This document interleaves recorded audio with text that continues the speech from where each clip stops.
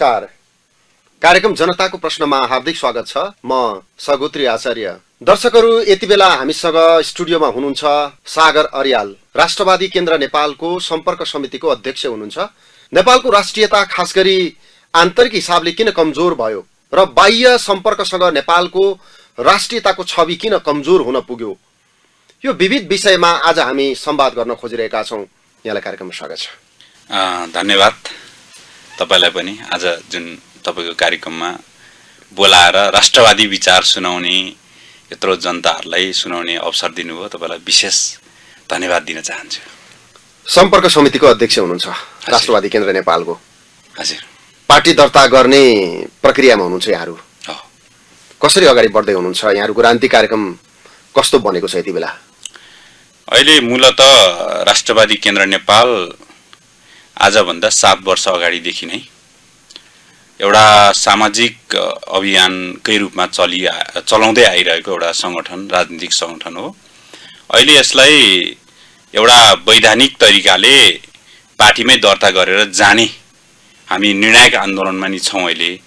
हामी सात वर्ष अगाडिदेखि नै निरन्तर हाम्रो अभियान चलाउँदै गर्दाखेरिमा अब हामीले अन्तिममा यो निर्णायक आन्दोलन गर्नको लागि एउटा पार्टी दर्ता गर्ने भन्ने तयारी छ। अब यसको तयारी भइरहेको छ अहिले। कस्तो प्रकारको पार्टी हुन्छ? यसको सिद्धान्त के हुन्छ? यसको सङ्गठन संरचना कस्तो हुन्छ? अहिलेसम्म अभ्यास गरिएका खास गरी पार्टीको अध्यक्ष र सभापति दुई प्रकारले प्रयोग गरिएको छ। तदर्थ समिति हुन्जेलसम्म संयोजक भनिन्छ। यहाँहरूको साङ्गठनिक संरचना कस्तो हुन्छ? त्यो सङ्गठनले निर्माण गरेको विचार के हो? अब कोही मार्क्सवादी छन् कोही चाहिँ समाजवादी छन् कोही अरू विभिन्न वादीहरू छन्। यहाँहरूको विचार सिद्धान्त सङ्गठन यसको बारेमा पनि दर्शकलाई जानकारी गराउँ न हुन्छ धन्यवाद। महत्त्वपूर्ण क्वेसन गर्नुभयो तपाईँले। राष्ट्रवादी केन्द्र नेपाल अहिले जुन नेपालको राष्ट्रिय राजनीतिमा भएका विभिन्न दलहरू छ त्योभन्दा नितान्त फरक सङ्गठन हो। यो फरक यो मानेमा हो कि विचारमा फरक छ हाम्रो कार्यक्रममा फरक छ सिद्धान्तमा फरक छ। त्यसले गर्दाखेरिमा राष्ट्रवादी केन्द्र नेपाल अहिलेको यो राष्ट्रिय राजनीतिमा वैकल्पिक शक्ति पनि हो। र नयाँ विचारसहितको यो देशको भूगोल माटो सुहाउँदो विचारसहित आएको राष्ट्रवादी केन्द्र नेपाल एउटा राजनीतिक सङ्गठन हो। त्यसको विचार जुन राष्ट्रवादी विचार भनेर हामीले भनेका छौँ त्यो भनेको के हो? राष्ट्रवादी विचार राष्ट्रवादी त सबैले भनेका छन्। अब यो राष्ट्रवादी विचार भन्ने कुरो चाहिँ यति गहन विषय छ यसलाई चाहिँ हामीले भौतिकवाद र अध्यात्मिकवादको फ्युजन नै राष्ट्रवाद भनेर हामीले जुन व्याख्या गरेका छौँ यो राष्ट्रवादी विचार सहितको पार्टी हो यो नयाँ पार्टी हो नयाँ सङ्गठन हो। यो नयाँ सङ्गठनले साँच्चीकै नेपाललाई मात्रै होइन यो विश्वलाई नै आज नेतृत्व दिने तरिकाले हामीले तयार गरेर लगेको सङ्गठन हो। यसमा चाहिँ हाम्रो ठ्याक्कै अध्यक्षकै रूपमा अहिले हामीले बनाएका छैनौँ। हामीले पार्टीको संरचना चाहिँ संयोजक बनाउने। त्यसपछि चाहिँ अब अरू तलको चाहिँ अब अहिलेसम्म हामीले अभियन्ता बनाएका थियौँ। अब त्यसको चाहिँ हाम्रो अझै छलफल भइरहेको विषय छ। अब अद संयोजक पछिको अरू चाहिँ छलफल भइरहेको छ। अब त्यो अझै टुङ्गिएको विषय छैन। भनेको साङ्गठनिक हिसाबले चाहिँ जिल्लामा प्रदेशमा तल स्थानीय सरकारहरूको समन्वय गर्ने प्रकारले पनि तल पनि कमिटी चाहिएला। तलदेखि माथिसम्म जुन साङ्गठनिक संरचना हो त्यो चाहिँ छलफलको प्रक्रियामै छ अहिले। विचारको कुरा चाहिँ तपाईँले उठाउनु भयो नि अध्यात्मवाद र भौतिकवादको फ्युजन गर्ने कुरा। हजुर। त्यो भनेको के हो? त्यो कसरी फ्युजन हुन्छ। त्यो कस्तो प्रकारको सिद्धान्त हो? आज विश्वमा यो मानव जगत अ, शान्ति अ, को रूपमा बस्न सकेको छैन। आज अमेरिकाले हामी समृद्धि भनेका छौँ विश्वको सबैभन्दा शक्तिशाली राष्ट्र भनेको छ। त्यो भन्दै गर्दाखेरिमा अमेरिकामा आज बन्दुक पसलमा किनेर एकजना साथीले अर्को साथीलाई रिस उठ्यो भने मार्न पाउने। त्यस्तो त्यस्तो बनेको छ। हामीले अहिले यो विचार स्थापना गर्न खोजेको यो विचारलाई लान खोजेको विषय चाहिँ के हो भने पैसा नै सबै कुरो होइन। यो भौतिकवाद भनेको हाम्रो भे भोको पेटसँग जोडेको विषय जुन काम गरेर खाने जुन विकासको कुरो भयो यो मात्रै भएर हुँदैन। आज विश्व तपाईँको भौतिकवादको चरम उत्कर्षमा पुगेर आज फेल भएको अवस्था छ। यो तरिकाले जाने हो भने विश्वलाई नै ध्वस्त पार्न सक्ने बमहरू बनाइसके। तर यो विश्वलाई ध्वस्त पार्न सक्ने बमहरू बनाउँदै गर्दाखेरिमा यो बम पड्किँदा म पनि सिद्धिन्छु है। भन्ने त्यो चेतना भएन। त्यो चेतना भनेको अध्यात्म हो। यो भौतिकवाद र अध्यात्मवादको फ्युजन नै हामीले राष्ट्रवाद भनेर जुन अहिले विचार बनाइरहेको छौँ यो चाहिँ के भयो भन्दाखेरिमा आज विश्व एक जगतको मान्छे आध्यात्मिक सबै कुरो भगवान्ले पुर्याइन्छ भनेर एकातिर फर्केर बसेको अवस्था छ। त्यो मान्छेहरू नि पीडामा छन् तिनीहरूको फेरि जीवन स्तरमा एकदमै त्यो समस्या परिरहेको छ। अर्को फेरि सबै कुरो यो भगवान् हुँदैन केही पनि हुँदैन यो के अरे सबैभन्दा ठुलो कुरो पैसा हो विकास हो अब भन्दै तपाईँको विनाशतिर गइरहेको अवस्था छ। यो दुइटै कुरो चाहिँ सँगसँगै लानुपर्छ है। यो दुइटै कुरोलाई सँगसँगै लान सक्यो भने मात्रै यो मानव सभ्यता बच्छ। भनेर चाहिँ हामीले भौतिकवाद र अध्यात्मिकवादको फ्युजन नै राष्ट्रवाद हो। अब भनेर जुन विचार हामीले ल्याएका हौँ। भौतिकवाद र अध्यात्मवादको फ्युजनमा तपाईँले दुईटा कुरा उल्लेख गर्नुभयो। एउटा भौतिकताको पक्ष। हजुर। मान्छेलाई जिउनका लागि जे जे भौतिक कुराहरू चाहिन्छ त्यो कुरा हामीले विकास गर्दै यहाँसम्म आइपुग्यौँ। र त्यसको चरम उत्कर्षबाट विभिन्न खाले सङ्कटहरू पनि पैदा भए। यो सङ्कटलाई युद्धलाई शान्तिमा रूपान्तरण गर्न आध्यात्मिक चेतना पनि चाहिन्छ। त्यसको प्रयोग पनि मानव जीवनमा भरपुर ढङ्गले हुनुपर्छ। जो अहिले प्रयोग भइआएको छ एउटा सानो सानो समूहमा त्यो पनि एकाङ्की छ। त्यसले पनि जीवनलाई निराश मात्रै बनायो। पलायन मात्रै बनायो। होइन? भनेपछि यो दुइटै कुरा सँगै चाहियो भन्नुभयो नि। हजुर। त्यो दुइटै कुरा जोड्ने कुरालाई चाहिँ वादको व्याख्या गर्ने व्याख्याताहरूले सार सङ्ग्रहवाद पनि भन्छन्। हजुर। सबै कुराको राम्रो पक्षलाई जोडेर सार सङ्ग्रह गरेर बनाएको त्यो वादलाई सार सङ्ग्रहवाद भन्छन्। तपाईँहरूको यही बन्न लागेको हो? अब त्यो व्याख्या गर्ने कुरोमा अब विभिन्न शब्दहरू आफ्नो आफ्नो ठाउँमा होला। तर हामीले चाहिँ यसलाई राष्ट्रवाद भनेर अब विश्वमा सबैको राष्ट्र हुन्छ। यसलाई सजिलो होस् भन्ने तरिकाले सारमा चाहिँ हामीले राष्ट्रवादी विचारलाई आफ्नो आफ्नो देशको जस्तै हाम्रो नेपालको मात्रै विषय होइन। आज विश्वमा तपाईँको हेर्नुहोस् एक सय दसवटा जति राष्ट्रहरू अरूको देशको अधीनमा चल्न आज बाध्य भएका छन्। आज जुनमा देशमा अहिले आर्थिक सङ्कट आइरहेको छ। एउटा देशको योजनामा एउटा देशको मान्छेलाई तपाईँको केही रिस उठ्यो भने अथवा उसलाई केही कुरामा चाहिँ आफ्नो देशलाई चाहिँ बाघ जस्तो बनाएर राख्ने। अरू जेसुकै होस् मरे नि मरोस् भन्ने सोच आयो भने त्यो चेतना आयो भने चाहिँ आज अरू देशको अरू यो मानव जगतलाई चाहिँ मान्छे मान्छेमा त्यत्रो ठुलो विभा विवाद ल्याइदिने। मान्छे मान्छेले मान्छेले मान्छेलाई दास बनाउने जुन आएको छ ट्रेन्ड आएको छ यसलाई अन्त्य गर्नको लागि चाहिँ पहिला सुरुमा चेतना हो। त्यो चेतना हुनुपर्छ भनेर हामीले चेतनालाई कहाँसम्म जोड्यौँ भन्दाखेरिमा? आध्यात्मिक अध्यात्मसँग जोड्यौँ। त्यो चेतना हुनुपर्छ। र भौतिकवाद फेरि भौतिक कुरालाई चाहिँ फेरि हुँदैन। केही गर्नै हुँदैन। यो विकास भन्ने कुरो सबै यो विनाश हो। अब भनेर बस्यौँ भने पनि विकास हुँदैन। अब भन्ने तरिकाले हामीले यसलाई नै मिलाएर फेरि सबै देशको सबै राष्ट्रको आफ्नो आफ्नो राष्ट्रियता हुन्छ। त्यो एउटा राष्ट्रले अर्को राष्ट्रलाई चाहिँ तपाईँको त्यो आँच पुर्याउने काम नहोस् भनेर हामीले राष्ट्रवादको विचारलाई चाहिँ अहिले राष्ट्रवाद विचारलाई चाहिँ सबै सबै देशलाई सबै यो विश्वलाई नै समेट्न सकिन्छ भनेर राष्ट्रवाद विचार बनाएका हुन्। भनेको अध्यात्म र भौतिकतालाई तपाईँले जसरी जोड्नु भयो नि शरीर भनेको वास्तवमा मान्छेको जुन प्रकारको संरचना बनेको छ नि त्यो चैतन्यद्वारा चल्ने। हजुर। त्यो केवल शरीर मात्रै होइन जिन्दगी भनेको केवल शरीर मात्रै होइन। हजुर। शरीर त लासको पनि हुन्छ। हो। तर लासलाई त जिन्दगी भनिँदैन। त्यसलाई हामी त छिटो छिटो जलाउँछौँ या गाड्छौँ आफ्नो संस्कार अनुसार त्यसलाई अन्त्येष्टि गर्छौँ। हजुर। त्यो शरीर मात्रै सबै थोक पनि होइन रहेछ भौतिक हिसाबले। र चैतन्यको हिसाबले हेर्दाखेरि एउटा पागलसँग पनि विकृत प्रकारको चेतना त हुन्छ। त्यो चेतना मात्रै भएर पनि त हुँदो रहेनछ नि। बिग्रेको चेतना पनि त चेतना नै चेतना हो। त्यो चेतनाले पनि काम गर्दो रहेनछ। भनेपछि चेतना र भौतिकता एक्ला एक्लै चाहिँ सबथोक होइनन्। चेतना पनि सही हुनु पर्यो। शरीर पनि सही हुनु पर्यो। यो दुइटा कुरालाई जोड्ने त्यो जोड्ने चाहिँ कसरी? यहाँले राष्ट्रवाद बनाउनु भएको छ त्यसलाई। जोड्ने कसरी? र के भएपछि राष्ट्रवाद बन्छ त्यो? हजुर। यो चाहिँ कस्तो के भएपछि हुन्छ भने अब यो भौतिकवाद भनेको प्रत्येक नेपालीलाई प्रत्येक विश्वकै जनतालाई हरेक मान्छेलाई हरेक मान्छेलाई मानव जातिलाई मानव। जातिलाई नै चाहिएको विषय के हो भन्दाखेरिमा आज खानको लागि काम गरेर खानको लागि एउटा रोजगारी चाहिएको हामीले यसलाई जोड्न खोजेको विषय। सबैजनालाई निशुल्क शिक्षा स्वास्थ्य होस् रोजगारी होस् हामीले भौतिकवादलाई यहाँ जोड्न खोजेका छौँ। र यता फेरि अध्यात्मिकवादलाई हामीले अध्यात्मलाई कहाँ जोड्न खोजेका छौँ भने हामीलाई पैसा पनि छ शिक्षा स्वास्थ्य पनि छ सबै कुरो छ तर चेतना भएन भने त्यो हुँदा हुँदै पनि हामी अपाङ्ग हुन्छौँ। हामी एउटा पूर्ण हुँदैनौँ। हुँ, त्यसले गर्दामा हामीलाई हाम्रो धर्म संस्कार संस्कृति अनुसार रमाइलो गर्ने पनि रमाइलो मान्ने हाम्रो चिन्तन गर्ने त्यो पनि चाहिन्छ। अब भनेर हामीले यसलाई जोड्न खोजेका छौँ त्यो चाहिँ वैदिक सनातन धार्मिक राष्ट्र हुनुपर्छ।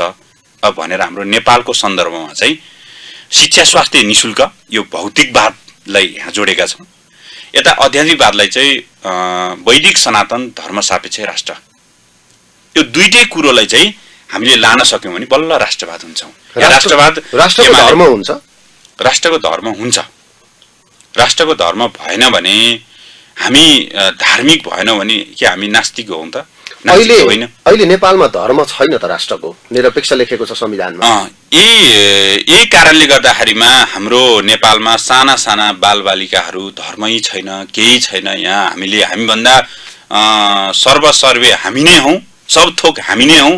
अब भनेर एउटा कोठामा चाहिँ कोठा थुनेर साना साना बालिकाहरू आज बलात्कार भइरहेको अवस्था छ।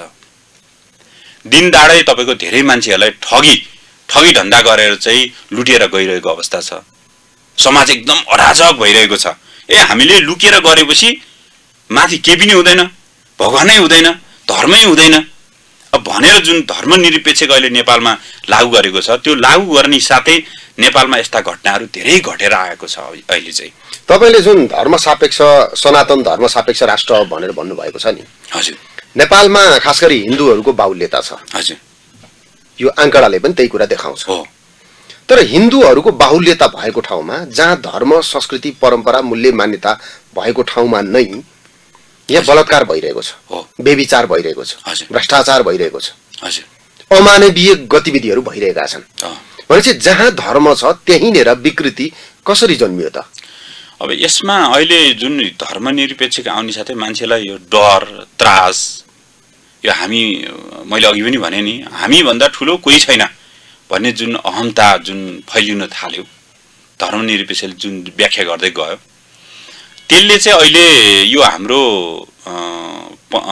चौरानब्बे पर्सेन्ट हिन्दू धर्म मान्ने मान्छेहरू बस्छौँ भन् भनेका छौँ। तर हिन्दू होइन त्यो हिन्दू चाहिँ धर्म होइन फेरि सम्प्रदाय हो होइन? सम्प्रदाय मान्ने मान्छेहरू छौँ हामी। तर त्यसमा अहिले किन यस्तो भइरहेको छ भन्दाखेरिमा हामीले सही स्कुलिङ दिन नसकेको कारणले गर्दाखेरिमा। आज साँच्चीकै धर्म भने के हो अध्यात्म भने के हो। अब भन्ने कुरोको चाहिँ सही तरिकाले विश्लेषण गर्न नसकेको कारणले गर्दाखेरिमा धर्मको खोल ओढेर बाहिर देखाउने धर्म भित्रभित्र चाहिँ विभिन्न कुरीतिहरू विभिन्न मान्छेहरूलाई चाहिँ समस्यामा पारेर चाहिँ यस्तो घटनाहरू घटेको हामीले पाएका छौँ। भनेको धर्म भयो भने चाहिँ हामी निष्ठामा जिउन सक्छौँ नैतिकतामा रहन सक्छौँ भन्ने जो तपाईँहरूको विश्वास छ। हजुर। विश्वका थुप्रै मुलुकहरूमा धर्म राज्यको छैन। राज्यको निश्चित धर्म छैन। तर त्यो देशमा पनि अनुशासन छ। त्यहाँ पनि कानुन छ। त्यहाँ पनि मानवीयता छ। त्यहाँ पनि विकास छ। त्यहाँ पनि अध्यात्म छ। भनेपछि हामीलाई धर्मकै सहारा लिनुपर्ने धर्मकै लौरो टेक्नुपर्ने चाहिँ किन हामी हिँड्नका लागि? अब त्यो मैले म साउदी दुबईतिर गएँ। त्यहाँको सानो बच्चालाई पनि बाबुआमाले दौड्याउँदै लिएर गएर मस्जिदमा ढोग्नुपर्छ। यसरी हाम्रो संस्कार मान्नुपर्छ। यो भएन भने हामी रहँदैनौँ है भनेर सिकाउँछ क्या। त्यो अनुशासन हुन्छ क्या। हरेक ठाउँमा। अब त्यो त्यो बच्चालाई ढोग्न लाउनु राम्रो हो त। त्यो ढोग्नु लाउनु भनेको के हो भन्दाखेरिमा त्यो बच्चालाई मैले नराम्रो काम गर्दाखेरिमा त्यो एउटा धर्म हो। मैले नराम्रो काम गर्दाखेरिमा चाहिँ मलाई भगवान्ले हेरिरहेको हुन्छ मैले नराम्रो काम गर्नु हुँदैन। भनेर सिकाएको हो त्यो संस्कार सिकाएको। भनेको त्यो भगवानको भय चाहिँ बच्चामा हो। भरियो। हो। भनेको डर पो भरियो त बच्चामा। हो। डर किन? त्यो डर हुन आवश्यकता छ। किनभने नराम्रो काम गर्दै गर्दाखेरिमा मान्छेलाई डर भएन भने अझै त्यसले नराम्रो काम गर्दै जान्छ नि। धर्म भनेर एउटा कानुन हो क्या। संविधान हो। त्यो भएन भने धर्म अब धर्म र राष्ट्र भनेको एक सिक्काको दुई पाटा हो। यदि धर्म भएन भने राष्ट्र रहन सक्दैन। तर धर्म बिनाका राष्ट्र छन् त धेरै। छन् होला तर व्याख्या गरे होला। तर त्यसको त्यहाँ त्यसको लिगेसी जोडेको हुन्छ फेरि। त्यहाँ लिगेसी चाहिँ जोडेको हुन्छ। तर त्यो शब्दमा उच्चारण नभएको होला। तपाईँ हिन्दू हुनुहुन्छ भने हजुर। निष्ठामा जिउनु भयो एकछिनका लागि। हजुर। तर तपाईँ क्रिस्चियन हुनुभयो भने पनि निष्ठामा जिउन चाहनु भयो भने त कसैले रोक्न सक्दैन नि। सकिन्न। तपाईँलाई बुद्धिस्ट हुँदा पनि त निष्ठामा जिउन चाहँदा कसैले रोक्न सक्दैन। सक्दैन। त्यसो भने एउटा धर्म छोडेर अर्को धर्ममा जाँदैमा। तपाईँलाई इमान हुन त कसैले रोक्दैन। भनेपछि त्यो पुरानै धर्म अघिकै धर्म चाहिँ किन चाहियो त? त्यो नहुँदा नि बाँच्दो रहेछ मान्छे। बाँच्न सकिन्छ तर के हो भने मेरो नाम सागर अर्याल हो म मान्छे हो। तर मेरो एउटा परिचय हुन आवश्यकता छ। म तिनवटा कुरा मान्छे यो मानव जगतलाई चाहिँ के भन्छु भने आफू जन्मेको देश धारणा गरेको धर्म। र जन्म दिने आमा। यो तिनवटा कुरा नमान्ने मान्छे मान्छे होइन। क्रिस्चियन छोडेर हिन्दूमै आउनुपर्छ भन्ने होइन। यो तिनवटा कुरा नमान्ने मान्छे मान्छे होइन भन्छु क्या म। त्यसले गर्दाखेरिमा हाम्रो नेपालमा अहिले जुन धर्म परिवर्तन गराउने जुन प्रथा चलेको छ राष्ट्र मान्नु पर्यो हो। आमा मान्नु पर्यो। आफूले धारणा गरेको धर्म। धर्म मान्नु पर्यो। यो तिनवटा कुरा भएन भने मान्छे भएन। भएन। तपाईँको भनाइ अनुसार त संसारमा त धेरै मान्छे छैनन्। थोरै मात्रै मान्छे छन्। यो तिनटै कुरा मान्ने। राष्ट्र सबैले मान्छन्। आमा सबैले मान्छन्। हरेक जिउँदोले मान्छ। धर्म चाहिँ सबैले मान्दैन। अनि सबैले नमान्ने कुरालाई त्यो मानेन भने त मान्छे नै होइनस् भनेर भन्दा हामीले हाम्रो चेतनालाई चाहिँ कसरी बुझ्ने? यस्तो छ सर। मैले देखेको के हो भने आज चाइना हाम्रो छिमेकी देश यहीँ छ चाइना। चाइनामा चाइनाले जुन विकासको फड्को मार्दै गयो उसले कम्युनिस्ट विचार बोक्दाखेरिमा धर्म भनेको अफिन हो। भन्दै गर्दाखेरिमा आज आफ्नो देशको धर्म भएन भने देश सङ्कटमा पर्छ है। भन्ने कुरो चेतना आइसक्यो त्यहाँको नेतृत्वले थाहा पाइसक्यो अब विश्वको लडाइँ हतियारमा मात्रै हुँदैन। एउटा आस्थामा एउटा विचारमा केन्द्रित हुन्छ। भनेर उसले आफ्नो एउटा धर्म तावा धर्मलाई चाहिँ विश्वव्यापी गरिसक्यो अहिले। जुन कम्युनिस्ट विचारमा भएको मान्छेले परिवर्तन भएर आफू परिवर्तन भएर विश्वमा आफ्नो धर्म प्रचार प्रसार गरिरहेको छ। भनेको? चाइनामा हिजो चाहिँ निरपेक्षताको अभ्यास गरियो त्यसलाई अहिले करेक्सन गर्दैछन् भनेर तपाईँले जसरी भन्नुभएको छ नि। धर्म भएपछि कुनै पनि कुरा अनुशासनमा रहन्छ भन्ने विश्वास न हो तपाईँको व्याख्याभित्रको। चुरो कुरो भनेको। हजुर। तर म फेरि त्यही प्रश्नमा फर्किन्छु। एउटा हिन्दू परिवारमा। जसले हिन्दू धर्मको सबै कुरा मानेको छ तर त्यही परिवारमा विभेद किन छ? त्यही परिवारमा बलात्कार किन छ। त्यही परिवार किन गरिब छ? त्यही परिवार किन निराश छ? त्यही परिवार किन विखण्डनमा छ त। हिन्दू धर्म भएर पनि त त्यहाँ समस्या छ नि। यसलाई चाहिँ के भयो भने सर नेपालमा खास हिन्दू धर्म होइन। यो हिन्दू धर्म भन्ने सिन्धु कसरी सम्प्रदाय? घाटबाट आएको एउटा सभ्यतालाई ल्याएर यहाँ धर्म बनाइदिए क्या। यो नेपालको भनेको अगुवाहरूले बिगारे। बिगारिदिए क्या। नेपालको यो जुन एकता भएको समाजलाई विखण्डन गरेर चाहिँ जसरी हुन्छ यसलाई छेद विच्छेद बनाएर मात्रै जित्न सकिन्छ भनेर विदेशीहरूको योजनामा यो सिन्धु घाटबाट आएको सभ्यतालाई हिन्दूमा परिणत गरेर हिन्दू धर्म बनाइयो। तर हिन्दू धर्म होइन। यो हिन्दू धर्म एउटा हिन्दू भन्ने शब्द चाहिँ एउटा सम्प्रदाय हो। हाम्रो नेपालमा तर तपाईँले भन्नुभएको तिन कुरामा हजुर। धर्म आमा र राष्ट्र भन्नुभएको। हिन्दू धर्म होइन भने त त्यहाँ सम्प्रदाय भन्नुपर्ने होइन हामीले धर्मलाई केलाई जोडेको छ भने वैदिक सनातन धर्म भनेको छौँ क्या। यो वैदिक सनातन चाहिँ हो धर्म। होइन धर्म होइन भने त वैदिक सनातन सम्प्रदाय भन्नु पर्यो नि वैदिक। सनातन चाहिँ धर्म हुँ, वैदिक सनातन चाहिँ धर्म हो। हिन्दू यो बुद्धिस्ट किरात लगायत अहिले ओम शान्ति भन्छ यो सबै सम्प्रदाय हो। हामीले चाहिँ बनाउन खोजेको के हो भने हामीले वैदिक सनातन धर्म सापेक्ष राष्ट्र बनाउन खोजेका हो। हिन्दू धर्म राष्ट्र बनाउन खोजेका होइन। त्यो चाहिँ क्लियर कुरा। यो फरक बाटो छ। यहाँ अहिले सनातन धर्म सापेक्ष राष्ट्रमा अहिले हिन्दू मात्रै भनिने चाहिँ भएन। भएन। यसले विभेद गर्छ। कसरी विभेद गर्छ। हिन्दू भन्ने साथै यता बुद्धिस्टले बुद्धिस्ट राष्ट्र हुनुपर्छ भन्ला। हो क्रिस्चियनले क्रिस्चियनले क्रिस्चियन राष्ट्र भन्नु भन्ला। मुस्लिमले मुस्लिम राष्ट्र भन्ला। हामीले यसलाई सबैलाई मिलाउन खोजेको कुरो के छ भन्दाखेरिमा धार्मिक राष्ट्र हुनुपर्छ। तर त्यो सबैलाई समेट्ने गरेर चाहिँ हामीले वैदिक सनातन धार्मिक राष्ट्र भनेका छौँ। हामीले हिन्दूलाई मात्रै उच्चारण गरेका छैनौँ। हिन्दू एउटा सबै। हटाउने। हजुर। सबै धर्महरू स्वतन्त्र ढङ्गले हजुर। आफ्नो संस्कार मान्न पाउने गरी बस। वैदिक सनातन धर्म सापेक्ष राष्ट्र हुने भयो। हुनु पर्यो हजुर। त्यो भयो भने चाहिँ साझा हुन्छ। साझा हुन्छ। र त्यसलाई फेरि अहिले जस अरूले फेरि हामीलाई भनिरहेको छ क्रिस्चियनको तिमीहरूले क्रिस्चियनलाई चाहिँ थिचोमिचो गर्यो कि मुस्लिम चाहिँ मुस्लिमलाई थिचोमिचो गर्यो कि भन्ने क्वेसनहरू आउन सक्छ। मैले यसलाई पहिला नै क्लियर क्लियर गर्न चाहन्छु। उहाँहरूलाई हामीले थिचोमिचो गर्दैनौँ। उहाँहरू आफ्नो नियम आफ्नो कानुन आफ्नो जुन सम्प्रदायमा बसेर काम गर्न पाउनुहुन्छ। हामीले कसैलाई थिचोमिचो गर्नेवाला छैनौँ। स्वतन्त्र स्वतन्त्र पाइयो। पाइयो। जुनसुकै होस्। पाइयो तर अरूलाई मास्न पाइएन। पाइएन। यो क्रिस्चियन राष्ट्र छ नि त। विभिन्न देशमा त क्रिस्चियन राष्ट्रहरू छ। बुद्धिस्ट राष्ट्र पनि छ। होइन? छ नि त। हो त्यसले गर्दा हामीले वैदिक भनेको चाहिँ हाम्रो बाजे बराजुले मान्दै आएको मेरो एउटा परिचय त हुनु पऱ्यो नि त। त्यो परिचयको लागि हामीले वैदिक सनातन धर्म राष्ट्र भनेका हौँ। सबभन्दा ठुलो परिचय त तपाईँको मान्छे नै छ नि। मान्छेभन्दा ठुलो परिचय के हुन सक्छ मान्छे त सबै छ तर मान्छेको नाम हुन्छ नि। होइन र? म सागर अर्याल म मान्छे हो तर मेरो ठोस परिचय त हुनु पऱ्यो नि। मेरो सागर अर्याल हुनु पऱ्यो नि। सागर अरियाल भन्ने नाम त यो भइहाल्यो राष्ट्रको नाम चाहियो क्या। नेपाल सँगसँगै नेपाल कुन धर्मको राष्ट्र हो त? वैदिक सनातनहरूको राष्ट्र हो। भन्ने कुरो हामीले विश्वलाई चिनाउन खोजेको अनि शिक्षा जस्तो महत्त्वपूर्ण कुरामा देशको नाम शिक्षाबाट पनि त जोड्न सकिन्छ होला। यो शिक्षाको राष्ट्र भनेर। या जनवादी शिक्षा भौतिक शिक्षा आध्यात्मिक शिक्षा अनि भोलि शिक्षामा काम गर्ने मान्छेहरूले राष्ट्रको पनि एउटा शिक्षा हुनुपर्छ भने भने यस्तो छ। यो शिक्षाको पाटो अलग हो। मैले अघि पनि भने एक सिक्काको दुई पाटा भने जस्तै धर्म र राष्ट्र भनेको एक सिक्काको दुई पाटा हुन्। धर्म बिनाको देश चाहिँ हुँदैन। हुँदैन।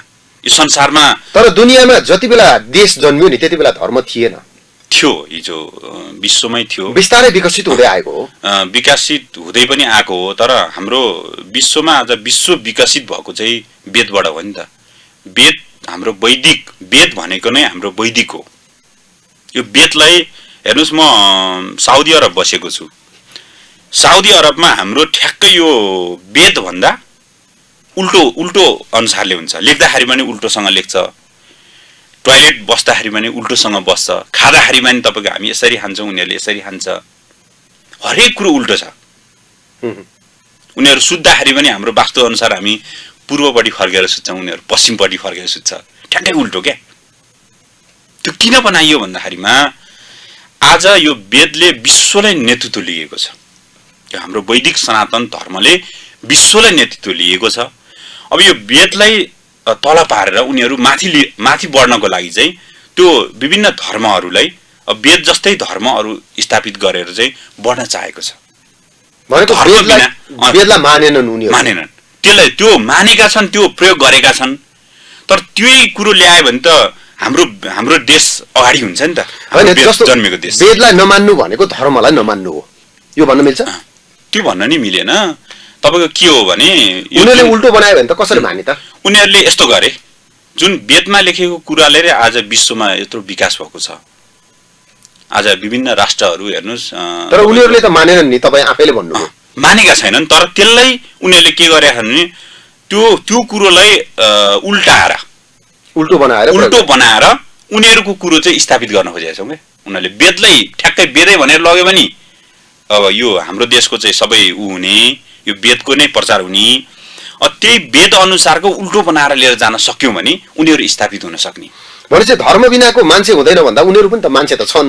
उनीहरू उनीहरूले। वेदको धर्म त मान्दैनन् नि उनीहरूले। त्यस त्यसैले उनीहरूले फलो गरेर भनेको उल्टो धर्म भयो। उल्टो धर्म यो सुल्टो धर्म हो त्यो उल्टो उल्टो। भयो। र एक दिन फेरि सुल्टोमा आउनुपर्छ। आज विश्व हेर्नुहोस् यो पृथ्वी घुमिरहेछ। आफ्नो ट्र्याकमा घुमिरहेछ। एक दिन सत्यको विजय हुन्छ। आउनुपर्छ। वेदमा आउनै पर्छ यो विश्व आइरहेछ फेरि। मान्दै गर्दाखेरिमा उनीहरू फेल भएको अवस्था छ। जस्तो वेदको निर्माण जति बेला भयो हजुर। त्यो बेलाको मानव चेतना र अहिलेको मानव चेतनामा धेरै ठुलो फरक छ। यो कुरा त मान्नुहुन्छ। मानवीय चेतनाको विकास तीव्रतर ढङ्गले यहाँसम्म आइपुगेको छ धेरै उचाइमा आइपुगेको छ। हजुर। आजको मान्छेले त्यो त्यति बेलाको ज्ञान र सभ्यतालाई सथोक देख्ने र हाम्रो यति बेलाको नयाँ निर्माण गर्न नसक्ने कुरा चाहिँ के हो? यस्तो छ तपाईँको यो बिचमा के भइदियो भन्दाखेरिमा हाम्रो वेदको कुरो झुटा छैनन्। वेदमा लेखेको कुराहरू केही झुटा छैनन्। यो बिचमा खेल खेले क्या। त्यो वेदलाई पनि उल्टो अर्थ लगाएर लेखेर मानव जगतलाई चाहिँ भ्रम फिजाएर चाहिँ तपाईँको वेदमा यस्तो बनाएको छ उस्तो बनाएको छ भनेर हाम्रो संस्कारलाई कुरीति बनाइदिए हाम्रो वेदले अहिले यहाँ नेपालमा विकास भएन। विकास भएन। विकृत भयो। विकृत बनाए। किन तपाईँको हाम्रो मान्छे सबै मान्छे हो नि मान्छे कसरी विकसित भयो त। मान्छे विकसित अर्को तरिकाले भयो यो विकास गरेर भए। तर हाम्रो धर्ममा चाहिँ के गरिदियो भन्दाखेरिमा यो विदेशीहरूको यो चलखेल पनि हो। र कसैको त्यो आध्यात्मिक चेत राम्रोसँग खुल्न नसकेको कारणले गर्दाखेरिमा आफू चाहिँ जहिले पनि अगाडि बढिरहने अरूलाई दास बनाउने तरिकाले चाहिँ हाम्रो धर्मभित्रै हाम्रो संस्कारभित्र त्यो के गरिदियो भन्दाखेरि उनीहरूले अधुरो कुराहरू ल्याएर विकृतिमा ढालिदिए क्या आज नेपालमा धर्म परिवर्तन जुन तरिकाले भइरहेको छ यो धर्म परिवर्तन हुनुको मुख्य कारणै त्यही हो हेर्नुहोस् जस्तो एउटा मान्छेले। धर्म सही ढङ्गले प्रयोग गर्यो अर्को मान्छेले प्रयोग गरेन एउटाले सुल्टो तरिकाले गर्यो अर्कोले उल्टो तरिकाले। अगुवाई गर्ने व्यक्तिहरूले जसले यो अगुवाई गरे नि ब्राह्मण जस्तै हाम्रो नेपाल नेपालको सम्प्रदाय यो वैदिक सनातन धर्मभित्र हिन्दू धर्मभित्र हाम्रो ब्राह्मणहरू छ नि। कर्मकाण्ड गर्ने ब्राह्मणहरू उहाँहरूले अध्ययन गरेर भन्दा पनि एउटा बाहुनको छोरा जन्मिने साथै त्यो अध्ययनै नगरे पनि कर्मकाण्डी गर्ने व्यवस्था भयो। त्यस्तो भयो नि। राजाको छोरो राजै जस्तो हो, भयो उसले के गर्दैन गलत व्याख्या गर्दै क्या उसले अध्ययनै नगरिकन तपाईँको सम्प्रदायमा गएर चाहिँ यस्तो गर्नु हुँदैन उस्तो गर्नु हुँदैन भनेर त्यो वेदले नभनेको कुराहरू अहिले हाम्रो संस्कारभित्र हाल्दै। यसरी तपाईँले भनेको कुरालाई यदि सत्य मान्ने हो भने हजुर। हिजो ब्राह्मणहरूले पण्डितहरूले धर्मको अध्ययन नगरिकन जस्ताको तस्तै उनीहरूले तल जुन आफ्नो नाफाको लागि व्याख्या गरे हो। या विकृत तरिकाले व्याख्या गरे हजुर। नयाँ पुस्तालाई बिना अध्ययन हो। पण्डित्याइ गर्न लगाए। त्यो त धार्मिक अभियन्ताहरूको अग्रजहरूको कमजोरी भयो। हो त। त्यो राज्यको या राजनीतिको कमजोरी त भएन। त्यो राज्यले नियन्त्रण गर्नुपर्ने थियो फेरि त्यसमा। राज्यको ध्यान पनि गएन नि त। उनीहरूले त्यो समाजमा विकृति फैलाउँदै राज्यको विषय हो भने त दण्डित हुनुपर्ने भएन। नि त। यस्तो भयो। तपाईँको समाजमा कसैले नराम्रो काम नराम्रो व्याख्या गर्दै हिँड्दैछ भने त्यसलाई त राज्यले नियन्त्रण गर्नु पर्यो नि दण्डित गर्नु पर्यो नि त। खोइ दण्डित गरेको? एउटा दलितलाई ब्राह्मणले हेप्दै गर्दाखेरिमा मन्दिरभित्र पस्न नदिँदै गर्दाखेरिमा। त्यसलाई तुरुन्त कारवाही किन गरेन? एकछिनको लागि यो मोबाइललाई। मैले रेडियो हो भनेर व्याख्या गरेँ। हजुर। गलत त म हो नि। अब मलाई राज्यले किन कारवाही गर्ने? होइन यस्तो मैले यो मोबाइललाई रेडियो भनिराखेको छु।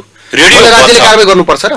रेडियो बज्छ तर रेडियोै भनेर यसलाई नामाकरण त गरे होइन नि त। होइन मैले व्याख्या गरेँ मेरो गल्ती त भयो।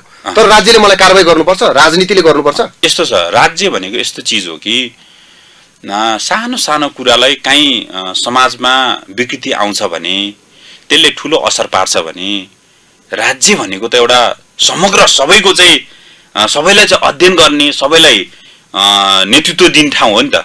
राज्य भनेको त्यो नियन्त्रण त्यस्तो गलत काम भयो भने तुरुन्तै एक्सन लिने राज्य हो नि त। राज्य बिना त केही पनि हुँदैन नि त।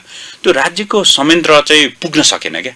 अहिले हजुरले मोबाइलको देखाउँदै गर्दाखेरिमा तपाईँले कसैलाई भ्रम बनाएर जस्तो। रेडियो भनेर बेच्दै गर्दाखेरि तपाईँले तपाईँलाई ठिक छ यो मेरो कमजोरीकै मैले उदाहरण दिएँ। मैले मोबाइललाई रेडियो भनेर गल्ती गरेँ। हजुर। तर ढुङ्गालाई भगवान् भनेर कोही मान्छेले पूजा गर्दा चाहिँ ठिक गर्यो। यो कसरी बुझ्ने? अब यसको यस्तो छ यसको व्याख्या लामो छ सर। यो ढुङ्गालाई हामी किन भगवान् भनेर हामी पुज्दैछौँ भने त्यसको व्याख्या अहिलेसम्म नेपाली समाजमा त्यो हुन सकेन। त्यो पढाइबाटै क्या त्यो पाँच कक्षा- पढाइ पढाइ हुँदाखेरिमा यसको व्याख्या हुनुपर्ने। तर हामी अहिले बहसमा व्याख्या गर्दैछौँ होइन? ढुङ्गालाई किन पूजा गर्दैछौँ हामी भन्दाखेरिमा हामीले टेक्ने ठाउँमा पनि हामीले ख्याल गर्नुपर्छ है भगवान् छ। टेक्दै हिँड्दै गर्दाखेरिमा हामीले सानो सानो काम गर्दाखेरिमा नि नराम्रो काम गर्नु हुँदैन है। त्यहाँ चाहिँ भगवान् छ है। भगवान् के हो तपाईँको परिभाषामा? भगवान् भनेको हामी सबैजनाको सबैजनाले समग्र रूपमा मान्ने एउटा अदृश्य शक्ति छ। सबैले त मान्दैनन् होइन? अदृश्य मान्छ। क्रिस्चियनले नि मान्छ। होइन धर्म जस्तो भगवान नमान्ने मान्छेहरू पनि छ नि दुनियाँ छन् होइन? भगवान मान्ने पनि मान्छे हुन्। मलाई जहाँसम्म लाग्छ भगवान नमान्ने मान्छे छैन होला। किन छैन होला भन्दाखेरि मात्रै भन्नुभएको छ नि त। सुन्नु न। तर अब सबैको त्यो एक्सरे गर्नु त मिल्दैन मनमा होइन? तर मलाई के लाग्छ भन्दाखेरिमा कसैले गड भन्छ? यति फरक हो क्या? कसैले शिव भन्छ? कसैले कृष्ण भन्छ? कसैले बुद्ध भन्छ? सबैको छ। सबैले मान्छ।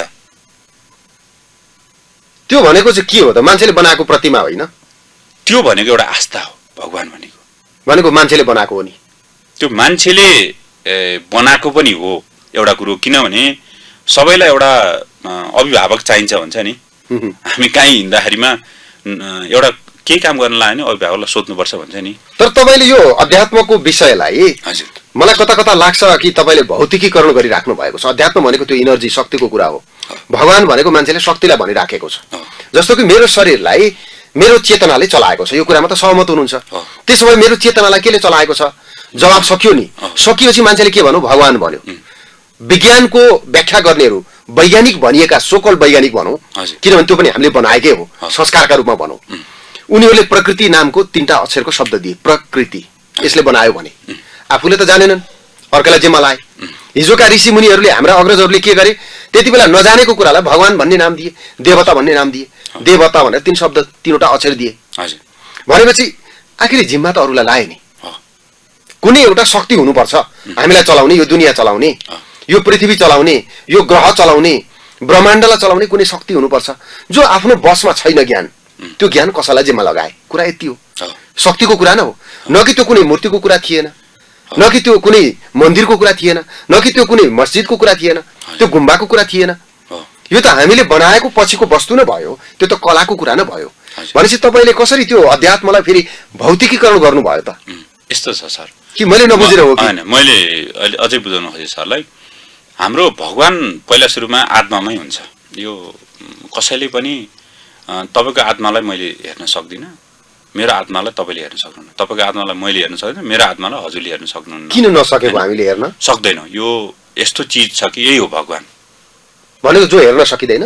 सकिँदैन। देख्न सकिन्न क्या? यो अदृश्य हुन्छ। देख्न नसकिने चिजलाई छ भनेर घोषणा गर्न कसरी सकिन्छ? त्यही त। यही कुरो हामीले विज्ञानले प्रुभ गर्न खोजे। तर विज्ञानले पनि पत्ता लगाउन सकेन। तपाईँ र हामी त वैज्ञानिक त होइन। आज हामी बहस गर्दैछौँ यहाँ। वैज्ञानिकले पनि पत्ता लगाउन सकेन क्या? एउटा मान्छेलाई ल वैज्ञानिकले पत्ता लगाउन सकेन अग्रजहरूले पत्ता लगाउन सकेनन् तपाईँ हामीले देख्दैनौँ। नदेखेको चिज पत्तै लगाउन नसकेको चिज छ भनेर चाहिँ हामी कसरी घोषणा गर्छौँ? त्यही भएर त यो अदृश्य छ। यसलाई भगवान मानेको त्यही भएर त हो। हामीले देख्न सक्ने सबै कुरा त्यसलाई चेक गर्न सक्ने छुन सक्ने त्यसलाई बोलाउँदाखेरिमा आउन सक्ने भाव भए त तपाईँ हामी जस्तै भौतिक भइहाल्थ्यौँ नि। भनेको भगवान भनेको त्यस्तो शक्ति हो जो देखिँदैन। यसो भन्नुपर्ने हुन्छ? अदृश्य हुन्छन् उहाँ शक्तिशाली हुनुहुन्छ। भनेको कुनै रूपमा हो कि त्यो निराकार रूपमा हो? निराकार। कुनै आकार छैन? छैन उहाँको आकारै छैन। त्यस्तो धर्मले पनि। यस्तै व्याख्या गर्छ। हजुर। त्यस्तो रूपमा हुनुहुन्छ त्यसलाई हामीले सबैजनाले मान्ने गर्छौँ। सबले मान्छौँ। यहाँ अधर्मी भन्ने कुरो कोही पनि हुनै सक्दैन क्या। यो जीवित प्राणीहरूले सबैले भनेको देवता मान्ने मान्छेलाई धार्मिक भन्नु पर्यो। र यहाँ धर्म नमान्ने कोही पनि छैन यहाँको व्याख्यामा। शक्तिको पुजारी त मान्छे अवश्य हुन्छ नै। मान्छेले भुसुनाको पूजा गर्दैन हात्तीको पूजा गर्छ। मान्छेले सानो पानीको धारालाई पूजा गर्दैन नदीलाई पूजा गर्छ। मान्छेले सानो मान्छेलाई नमस्कार गर्दैन ठुलो मान्छेलाई नमस्कार गर्छ। होइन? जो शक्तिमा बसेको छ पावरमा छ त्यसलाई सबैले नमस्कार गर्छ। भनेपछि शक्तिको पुजारी त मान्छे हुन्छ नै। र यो सिङ्गो ब्रह्माण्डलाई चलाउने एउटा ठुलो शक्ति हुनुपर्छ भनेर जुन दिन मान्छेले पहिलोपल्ट कल्पना गर्यो या कोहीबाट थाहा पायो। त्यस पछाडि मान्छे भगवानको पूजक बनेको हुनुपर्छ। शब्द जे दिए पनि पनि। अध्यात्म भनौँ या प्रकृति भनौँ या देवता भनौँ या भगवान भनौँ जेसुकै भनौँ। तर मान्छे त्यो कुनै न कुनै शक्तिको पुजारी भयमा त छ नै छ। त्यो हुनुपर्छ भन्ने विश्वासमा त मान्छे छ नै छ। तर यो कुराको व्याख्या गर्ने सन्दर्भमा तपाईँले जसरी भौतिकीकरण गरिराख्नु भएको छ नि। त्यो विषय चाहिँ मलाई अलिक अनौठो लागेको छ। हजुर। यस्तो भौतिक यो भौतिकवादलाई हामीले त्यसरी गर्न खोजेको होइनौँ कि? दुइटै कुरो लानुपर्छ। मैले भन्न खोजेको के हो भने यता हामीलाई विकास पनि चाहिन्छ काम पनि चाहिन्छ पैसा पनि चाहिन्छ सबै थोक चाहिन्छ। भौतिक कुरा त चाहियो नै। चाहियो नै। यो कुरो चाहियो नै। तर त्यसले मात्रै भएन। भएन। पुगेन। पुगेन। हामीले एउटा हामीभन्दा माथि क्या मभन्दा माथि छ है। भनेर एउटा कल्पना हामीले डर चिन्ता चाहिँ हामीले मान्नुपर्छ लिनुपर्छ। डर लिनुपर्छ? लिनुपर्छ। डर डर? लिएनौ भने मान्छे त मनोगत हुनसक्छ हेर्नुहोस्। मनैले लिने हो त डर पनि। मनोगत के हुनसक्छ मनोगत नभई चाहिँ डर कसरी लिन्छ त? मनोगत कसरी हुनसक्छ किन ड- त्यो मान्छे ट्र्याकभन्दा बाहिर जान सक्छ भन्दामा एक्लै मान्छे ट्र्याकभन्दा बाहिर जान सक्छ। ओहो। मैले गर्दै गरेको काम न गलत हो कि?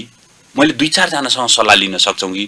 मान्छेको भन्छ नि चौबिस घन्टामा दुई मिनट मान्छेको दिमाग बिग्रिन्छ। त्यो दिमाग बिग्रेको बेलामा त्यो मान्छेले जे पनि गर्न सक्छ मर्न पनि सक्छ। आफूले मार्न पनि सक्छ अरूलाई मार्न पनि सक्छ। त्यसले गर्दाखेरिमा त्यो बेलामा चाहिँ तर त्यस्तो गरेको छैन त मान्छेले। तपाईँ हामीले गरेका छैनौँ त। तपाईँलाई दुई मिनट बिग्रिन्छ भनेर कसरी भन्ने? मैले धेरै ठाउँमा यो पाएको छु। कसै कसैको होला? कसै सबैको हुन्छ। तर त्यो बेलामा कोही सुतेको बेला होला। कोही कोही काम गरेको बेला होला। तर तर मान्छे एकदमै खाली दिमाग भएको बेलामा त्यो बिग्रेको समयमा चाहिँ ठ्याक्कै त्यो खाली दिमाग भएको बेलामा भयो भने कसैलाई मार्न पनि सक्छ त्यो बेला। भन्ने मर्न। पनि सक्छ। भन्ने मान्छेहरू। झुन्डेर मरे नि सर। होइन? उदाहरण। खाली दिमाग भएको बेला झुन्डिँदैन होइन, त्यो खाली दिमाग भने त्यसले केही पनि सोच्नै सकेन। त्यो काहीँ बिजी नै थिएन क्या खाली डर पनि सुन्नु थिएन। न, खाली दिमाग भएको मान्छे झुन्डिँदैन उसलाई झुन्डिने चेतना दिमागमा भएर मात्रै झुन्डिने हो। होइन।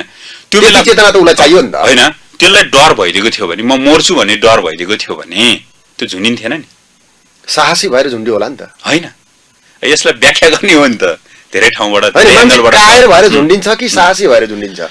मलाई लाग्छ त्यो झुन्डिने मान्छे त्यत्तिकै झुन्डेर मर्छ नि। त्यो बेला चाहिँ कस्तो समय होला जस्तो लाग्छ भने त्यसको दिमागले सोच्ने सोच्न नसक्ने अवस्था भएको बेलामा। नसोचेको बेलामा त बेहोस भइहाल्छ नि। झुन्डिने मान्छे त बेहोस त। हुँदैन। बेहोस भनेको झुन्डिएपछि बरु बेहोस होला। त्यो झुन्डिसकेपछि त मरिसकेपछि त सकिहाल्यो।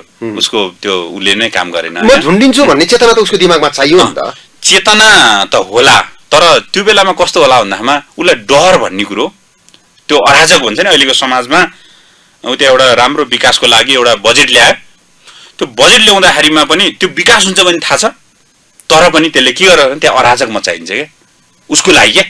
त्यो अराजकको पराकाष्ठ हुन्छ नि। त्यो पराकाष्ठको सीमा नागेपछि ल ठिक छ। तपाईँले भनेको कुरा मान्छेको चेतना जब अराजक बन्छ। हजुर। भय रहित हुनु भनेको अराजक हुनु हो। हजुर। अराजक भएपछि अरूलाई क्षति पुर्याउँछ आफूलाई पनि क्षति पुर्याउँछ क्षति पुऱ्याउँछ हजुर। यो कुरा तपाईँले भनेको सही छ। तर त्यो अराजकता चाहिँ मान्छेको यो दिमागमा आउँछ किन? त्यसलाई यो आध्यात्मिक चेत नभएर। त्यही भएर त आज हामीले अनि कसैमा आउँछ कसैमा आउँदैन नि त किन? त्यही त सबैमा तपाईँको आध्यात्मिक चेत नभएको कारणले गर्दामा सबैलाई आध्यात्मिक चेत अध्यात्म है। भनेको पाट पाट हुन्छ र सबैमा हुन्छ होइन, यस्तो यस्तो छ सर। सबैलाई आफ्नो घरमा नि हेर्नुहोस् धार्मिकको घरमा धेरै मान्छे अनुशासित हुन्छ। गएर तपाईँले यो अनुगमन गर्नुहोस्। जसको घरमा कसैको घरमा। सबैकोमा होइन। कुनै घरमा तपाईँको झगडा भइरहन्छ नि। त्यो मान्छे समाजमा निस्किएपछि झगडै गर्छ। प्राय घरमा प्राय घरको मान्छे हेर्नुहोस् होइन त्यो अराजक। जसो एउटा धार्मिक छ चेतना छ त्यो संस्कारी छ होइन त्यही भएर अहिले बिहे गर्दाखेरि पनि संस्कारी भएको केटालाई दिनु पाए हुन्थ्यो। संस्कारी भएको केटी चाहिँ ल्याउन पाए हुन्थ्यो। भन्ने हाम्रो चलन छ नि हाम्रो सोच छ नि। त्यही कारणले भनेको धर्म नभएको मान्छे हुँदैन भन्नुभएको छ। भगवान नमान्ने मान्छे हुँदैन भन्नुभएको छ। भगवान मान्ने मान्छेले धर्म मान्ने मान्छेले पनि व्यविचार गरिरहेको छ। हरेक परिवारमा नभए पनि कसै कसैको परिवारमा त्यो घटना घटिरहेको छ। भनेपछि धर्म भएको परिवारमा पनि त बलात्कार भयो व्यविचार भयो. त्यो धर्म हुनुको के अर्थ भयो? यस्तो छ। अब त्यो कोही कोही ठाउँमा त्यस्तो मैले भने नि। त्यहाँ पनि अराजकताको कुरा आउँछ होला। त्यो सीमा क्या। तपाईँको आफ्नै घरमा कतिपयको के छ भने आफ्नो घरमा फलेको काँक्रोलाई त्यो नदेख्ने तर अरूको बारीमा फलेको त्यो काँक्रो चाहिँ ओहो कति ठुलो काँक्रो रहेछ भन्ने त्यहाँ पनि त्यो अराजक भएको हुनसक्छ। त्यो त्यो दिमाग उसको अराजक बन्यो। दिमाग अराजक भयो त्यो चाहिँ नेचरले त्यस्तो अराजकता किन हालिदियो मान्छेलाई? त्यही त मान्छेको कहिलेकाहीँ त्यो अघि मैले भने नि तपाईँको चौबिस घन्टामा दुई मिनट बिग्रियो। दुई मिनट या दस सबैको बिग्रिन्छ। सबैको बिग्रिन्छ बिग्रेको हुन्छ। तर त्यो बिग्रेको बेलामा कन्ट्रोल गर्न सक्छ सक्दैन भन्ने मात्रै हो। अब कन्ट्रोल गर्नेको त्यो त्यो घटना घटेको हुँदैन। कन्ट्रोल गर्न नसक्ने अलिकति अराजक भएको मान्छे छ। त्यो घटना घट्छ। तपाईँले यो व्यक्त गरेको विचारभित्र जस्तो कुराहरू आइरहेको छ नि। हजुर। कतिपय अनौठो लाग्छ। कतिपय स्वाभाविक लाग्छ। होइन? कतिपय कुराहरू महान पनि लाग्छ कि? हजुर हजुर। यो यो प्रकारको चेतना तपाईँले प्राप्त गरेको त यो कल्चरबाटै हो। हो। समाजबाटै सिकेको होइन। तपाईँले जो अग्रजहरूलाई सही हुनुहुन्छ भनेर मान्नुभयो जसलाई गुरु मान्नुभयो उहाँको चेतना जस्तो छ तपाईँको त्यस्तै त्यस्तै हुँदै गएको छ। आफ्नो चेतनाको रङ्ग पनि त्यस्तै कलरको भएको छ होइन। अब यो तपाईँलाई सिकाउने मान्छे चाहिँ कहिले काहीँ गलत परिदियो भने त जिन्दगी त बर्बाद हुन्छ होला त। त्यसमा हो। यता चाहिँ कतिको ध्यान दिनुभएको छ? मैले ध्यान दिएको छु त्यसमा। त्यसमा त्यसमा सचेत हुनुहुन्छ? सचेत छु म। त्यो दुई मिनटलाई जस कन्ट्रोल गर्नुहुन्छ। हो। त्यही हो हाम्रो सचेत हुने टाइम भनेकै त्यही हो। हामीले कसैसँग सिक्दै गर्दाखेरिमा उसको बारेमा आलोचना आफैले समीक्षा गर्नुपर्छ क्या। उसको बारेमा आलोचना गर्ने समीक्षा गर्ने भनेको सही हो। कि मासमा गलत? आएर होइन। आफू कहिलेकाहीँ मेडिटेसनमा बसिन्छ ध्यानमा बसिन्छ कहिलेकाहीँ सुत्ने बेलामा बसिन्छ। आफ्नो मनलाई त ढाट्न सकिनँ नि। यो मान्छेले गरेको कामहरू मलाई सिकाउँदै गरेको कुराहरू।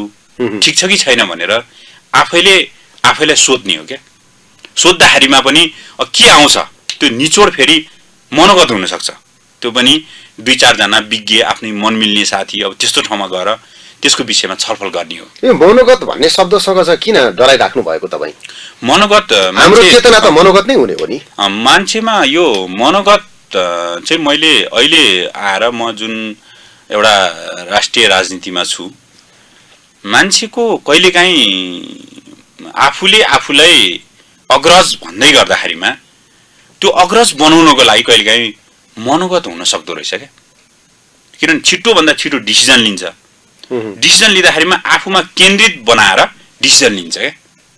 कतिपय ठाउँमा म आफैले नि गरेको म आफैले समीक्षा गरिरहेको पछि गल्ती गरेछु भन्ने थाहा ओहो रियलाइज गरिन्छ नि हामीले त एक ठाउँमा गएर। त्यसको चाहिँ तपाईँको मनोगत मान्छे कहाँ आउन सक्छ एक्लै एक्लै मान्छे टिम चाहिन्छ सङ्गठन चाहिन्छ भनेको मतलबै त्यही हो। भनेको यो राष्ट्रवादी केन्द्रमा तपाईँले सम्पर्क समितिको अध्यक्ष भएर काम गरिरहँदा हजुर। यो प्रकारको जुन व्याख्या गर्नुभएको छ नि धर्मको बारेमा अस्तित्वको बारेमा देवताको बारेमा राष्ट्रियताको बारेमा सम्प्रदायको बारेमा हजुर। अनि हाम्रो वैविध्यको जुन संस्कृति छ सनातनको जो संस्कृति छ। वेदको जो ज्ञान छ यसको बारेमा जे व्याख्या गर्नुभएको छ यो कुरा सम्प्रेषण गर्दा जनस्तरको प्रतिक्रिया चाहिँ कस्तो पाउनु भएको छ? अझ मैले कस्तो पाएको छु भने जनताहरू अल्मलेको अवस्थामा छ के हो के हो? एउटाले एउटा कुरा लिएर आउँछ एउटाले एउटा कुरा लिएर आउँछ। सही के हो भन्ने मान्छेमा धेरै तपाईँको त्यो छेद विच्छेद छ क्या? धेरैमा कन्फ्युजन छ। कन्फ्युजन छ फ्रस्ट्रेसन छ। हेर्नुहोस् केलाई के कुरोलाई सही भन्ने के कुरोलाई गलत भन्ने? भन्ने मान्छे ठिक हो कि होइन? उहाँहरूलाई होइन। कन्फ्युजन भयो। मैले तपाईँको एउटा तपाईँलाई आँखा दिन्छु भनेर जाँदाखेरि जाँदै जाँदै गर्दाखेरिमा समाजमा आज ओहो आज समाज त्यहाँ पुगेको छ। क्या मलाई आँखा दिन्छु त भन्यो। यसको केही न केही मुनाफा लिनको लागि चाहिँ मसँग केही लुट्नको लागि चाहिँ यसले आँखा दिन्छु है भन्दै छ है यसले भन्ने समाज बनिसक्यो अहिले भनेको सत्यमाथि पनि शङ्का गर्ने परिस्थिति। निर्माण भएको छ। यो अराजकको पराकाष्ठ भन्छ। अन्त यो परिवर्तन हुने बेलामा यो हुनु स्वाभाविक हो। भनेको राजनीतिमा चाहिँ त्यो अराजकताको पराकाष्ठ हो कि संस्कृतिमा? होइन राजनीतिमा हो पहिला। भनेको नेपाली राजनीति यति बेला चरम अराजकतामा छ। छ। एकदमै। पराकाष्ठमा छ। करेक्सन कसरी गर्ने? अब यसलाई करेक्सन गर्ने उपाय एउटै मात्रै हो कि एउटा लेभलको नेतृत्वहरूले हामीले जुन अभियान चलाइरहेको छौँ अहिले यो अभियान हामीले अहिले बेसिक यो बेस बनाउनुको लागि हामीले मिडिया प्रयोग गरेनौँ। बल्ल हामी मिडियाबाजी गर्दैछौँ। यो मिडिया अहिलेको टेक्नोलोजीलाई प्रयोग नगरी त सबैलाई एकचोटि सुनाउन नसकिँदो रहेछ। त्यसले गर्दा हामी भर्खर हामी सुरुवात गरेका छौँ। हामीले एउटा बेसिक टिम बनाउँदाखेरिमा जुन हामीले एउटा स्कुलिङ दियौँ हामीले एउटा नेतृत्व टिम तयार गऱ्यौँ अब यो नेतृत्व टिमले चाहिँ अब मिडिया मार्फत सबैलाई यो स्कुलिङ दिन आवश्यकता छ। जुन यो अहिले अराजक परिस्थिति छ यसलाई सुधार्नको लागि चाहिँ एउटा राजनीतिक स्कुलिङ हुँ। एउटा तपाईँको यता राज्यद्वारै तपाईँको पढाइबाट जुन हामीले स्कुलबाटै हामीले सिकाउन आवश्यकता छ। जस्तो राजनीति अराजक छ भनेर भनिरहँदा हजुर। तपाईँ राजनीतिमै हुनुहुन्छ राष्ट्रिय राजनीतिमा छु भन्नुभएको छ। हजुर हजुर। त्यो अराजक राजनीतिको झुन्डमा हजुर। तपाईँ सचेत चाहिँ कसरी बन्नुभयो?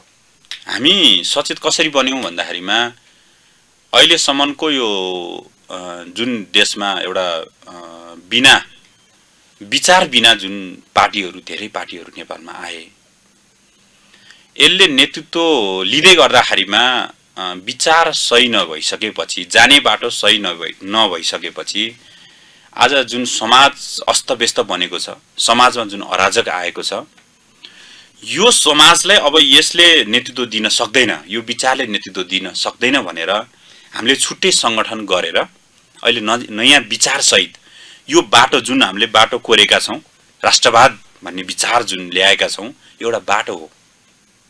यो बाटोलाई सबै मान्छेलाई यो बाटो हिँड्नलाई हामीले देखाइसकेपछि जब यो कुरो हो है भनेर एउटा शक्तिले चाहिँ तपाईँको समाजमा स्थापित गर्नको लागि जुन हामीले एउटा आन्दोलनको मोडालिटी सोचेका छौँ अब त्यो भोलि सचेत बनाउँदै जाँदाखेरिमा समाजमा भोलि चुनाव मार्फत होला होइन? हामीलाई त्यो मतदान गरेर चाहिँ भोलि त्यो सत्तामा पुग्ने पुग्न सक्ने ऊ होला।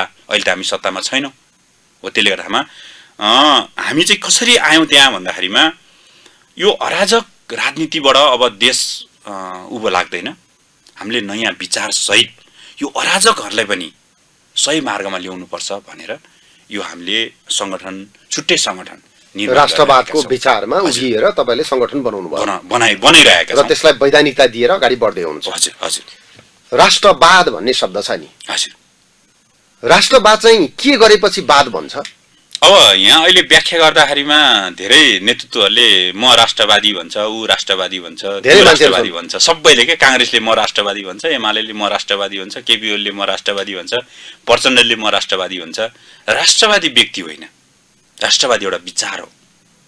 जुन विचारलाई आज बेचेर यिनीहरूले म राष्ट्रवादी भनेर जुन एउटा व्यक्तिले यो देश चलाइरहेको छ। विचारले चलाउनु राष्ट्रवाद। बिक्री हुन्छ? त्यही त राष्ट्रवाद भनेको एउटा विचार हो। विचार कसरी बिक्री त्यो विचार बिक्री गर्ने होइन कि विचार उनीहरूले बिक्री गर्दै एउटा व्यक्तिलाई केन्द्रित गर्दै गए होइन? अनि त्यही व्यक्तिको मनोगत कहिले बिग्रिने कहिले सप्रिने गर्दाखेरि आज यो अराजक फैलिएको छ। राष्ट्रवाद भनेको एउटा विचार हो। त्यो विचारलाई चाहिँ हामीले सबै जनतालाई बुझाएर त्यो विचारलाई सही तरिकाले चाहिँ त्यो विचारलाई बाटो बनाएर लिएर हिँड्न सक्यो भने मात्रै देश विकास हुन्छ। यो देशले प्रगतिको बाटो हिँड्न सक्छ नत्र भने यो व्यक्तिवादतिर हाम्रो देश गइरहेको अवस्था छ।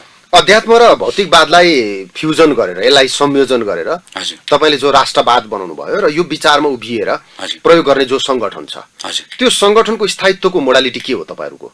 सङ्गठन बन्छ र भत्किन्छ प्रायः नेपाली राजनीतिमा त्यस्तो प्रकारको समस्या धेरै पटक दोहोरिएको छ।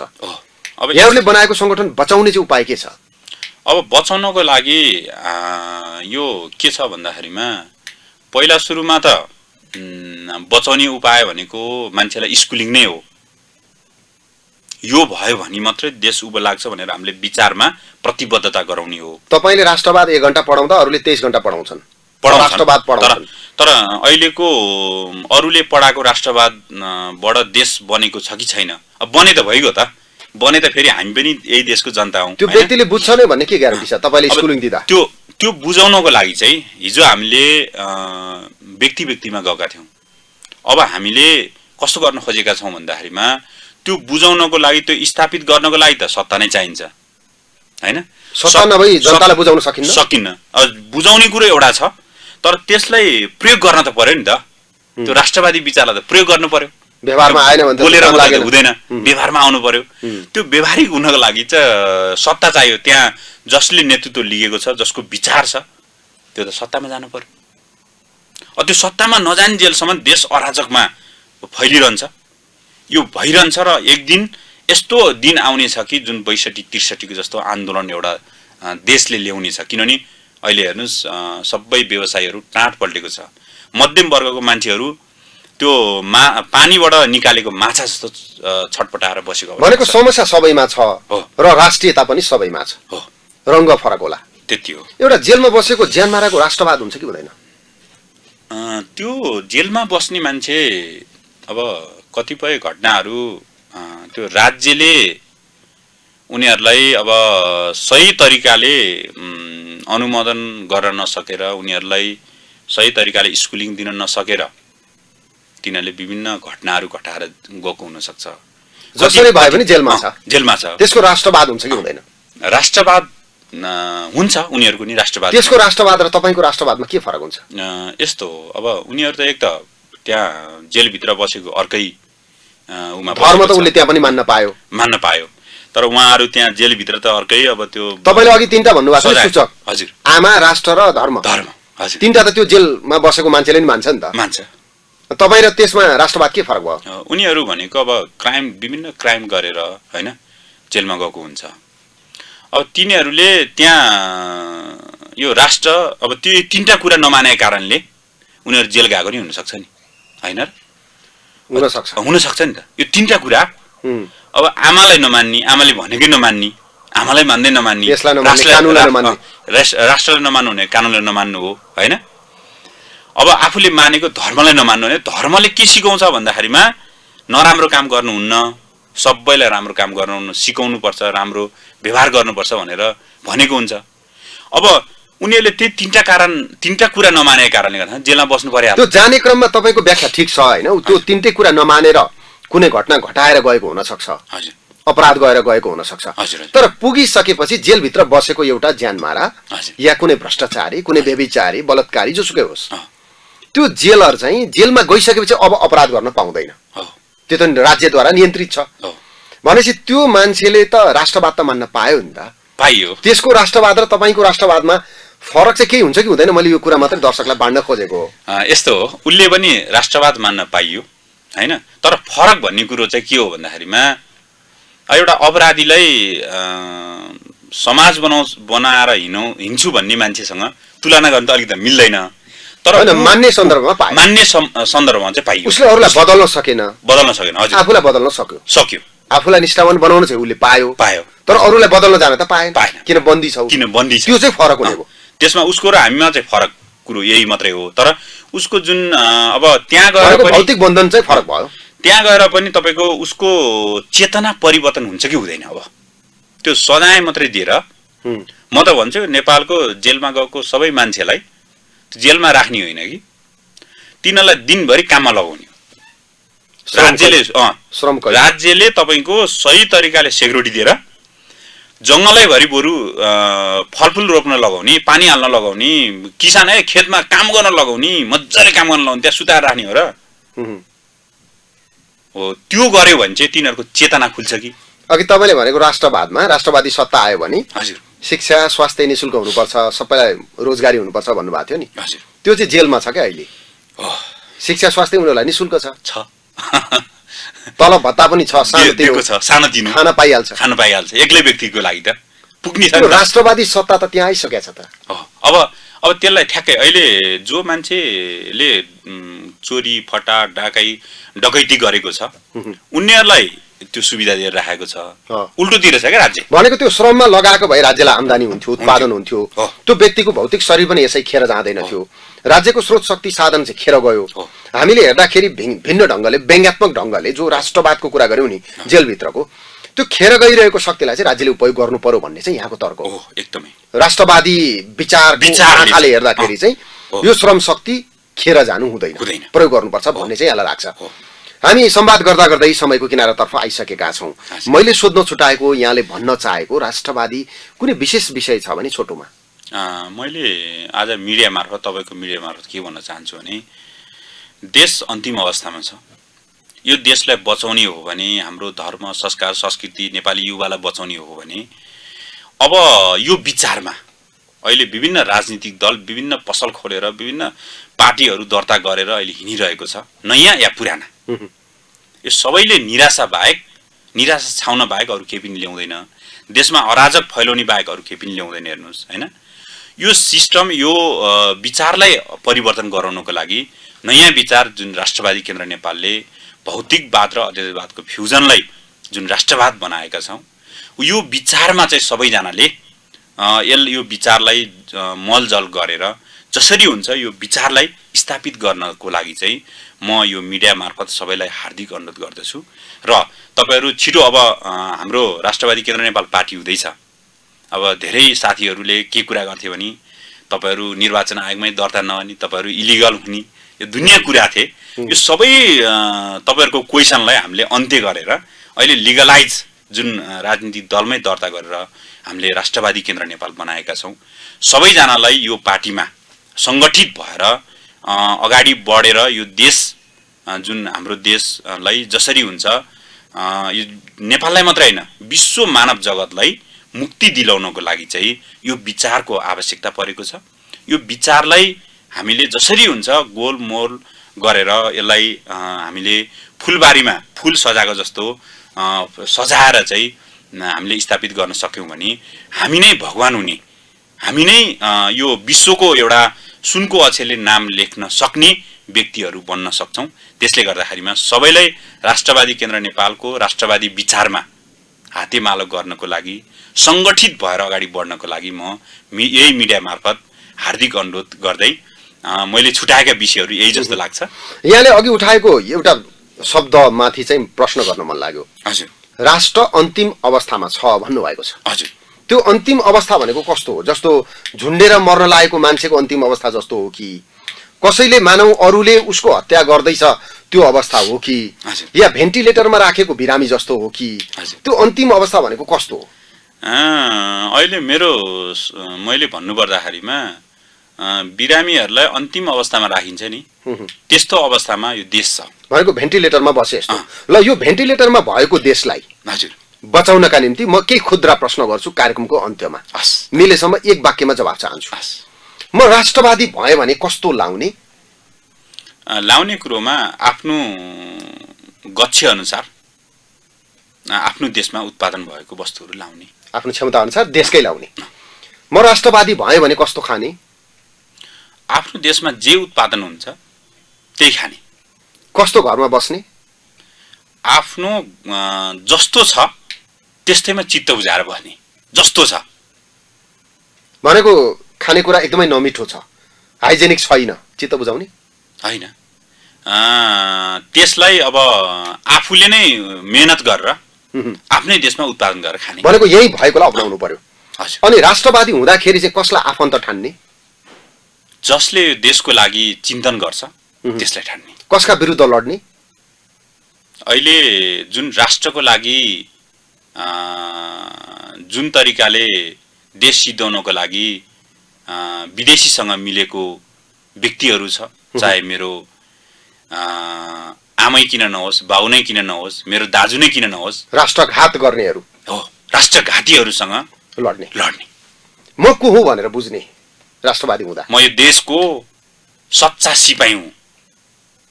यो देशको लागि योद्धा हुँ म एउटा सच्चा व्यक्ति हुँ। त्यो व्यक्ति म मेरो लागि मेरो सन्तानको लागि होइन यो राष्ट्रको लागि हुँ। यो राष्ट्रको लागि केही गर्छु भनेर भनेर बुझ्ने। बुझ्ने आफ्नो लागि। भनेको देशका निम्ति आफूलाई बुझ्ने। बुझ्ने। व्यस्तताको बिचमा यहाँले समय दिनुभयो। जनताको प्रश्नमा सहभागी भइदिनु स्टुडियोसम्म आएर। यो समय र संवादप्रति आभार व्यक्त गर्छौँ। अर्को कुनै श्रृङ्खलामा फेरि पनि राष्ट्रवादको बारेमा बहस गरौँला। अहिले धन्यवाद। तपाईँलाई जुन आज यो मिडिया मार्फत सबैलाई हाम्रो राष्ट्रवादी केन्द्र नेपालको राष्ट्रवाद विचार सुनाउने हामीले व्यक्ति व्यक्तिमा गएर सुनिरहेका थियौँ वडा वडामा गएर सुनिरहेका थियौँ। मिडिया मार्फत जुन सुनाउने मौका दिनुभयो तपाईँलाई विशेष धन्यवाद दिन चाहन्छु। दर्शकहरू हामीसँग हुनुहुन्थ्यो सागर अरियाल राष्ट्रवादी केन्द्र नेपालको सम्पर्क समितिका अध्यक्ष हुनुहुन्छ। सतहत्तरवटै जिल्लामा सम्पर्क गर्ने समितिको अध्यक्षता गर्नुभएको छ उहाँले। यद्यपि राष्ट्रवादी केन्द्र नेपालले सामाजिक अभियानका रूपमा आफ्नो सङ्गठनलाई विस्तार गर्दै लगेर अहिले आएर वैधानिक ढङ्गले पार्टी दर्ता गर्ने प्रक्रियामा अगाडि बढेको छ। राष्ट्रवादी केन्द्र नेपाल नामक अर्को राजनीतिक पार्टी नेपालमा थपिँदैछ। यो पार्टीले राष्ट्रको समस्याको समाधान कसरी गर्छ त्यो हेर्न नेपाली जनता आतुर छन्। वर्षौंदेखि सङ्गठन विस्तार गरेर आफ्नो शक्तिलाई सञ्चय गर्दै राजनीतिक पार्टी बन्न लागेको राष्ट्रवादी केन्द्र नेपालको अभियानमा यदि यहाँहरू सहमत हुनुहुन्छ भने पनि र सहमत हुनुहुन्न भने पनि यहाँहरूले हाम्रो भिडियो सामाजिक सञ्जालमा हेरेर प्रतिक्रिया दिनुहोला। हाम्रो यो प्रकारको राष्ट्रवादी बहस निरन्तर चल्दै जानेछ। आज भने हामी सबैलाई बिदा दिनुहोस्। युनिभर्सल टेलिभिजन हेर्दै गर्नुहोला। नमस्कार।